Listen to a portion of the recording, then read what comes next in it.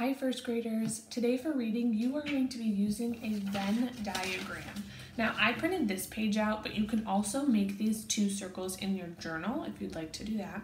We are going to be comparing or looking at two different people from the name jar story. We are going to be looking at Unhei's feelings and Joey's feelings. I'm going to write their names at the top so that I remember.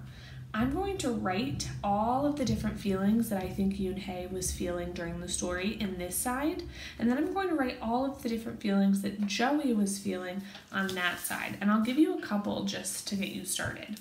I know at the beginning Unhei was feeling nervous and excited about her first day of school, but then she was blushing when the friends were making fun of her on the bus, so I think that she was maybe feeling a little bit embarrassed.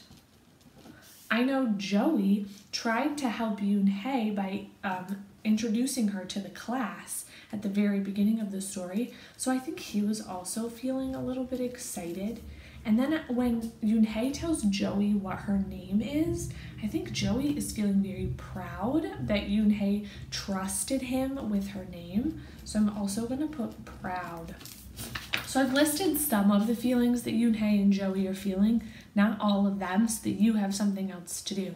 Some of these are said right in the story. It tells us right on page one that Unhei is feeling nervous and excited, but it doesn't tell us how Joey is feeling. That's something I had to think about on my own after listening to the story.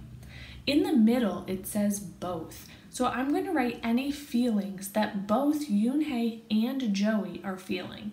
I can already see that they're both feeling excited, so I can write the word excited right in the middle.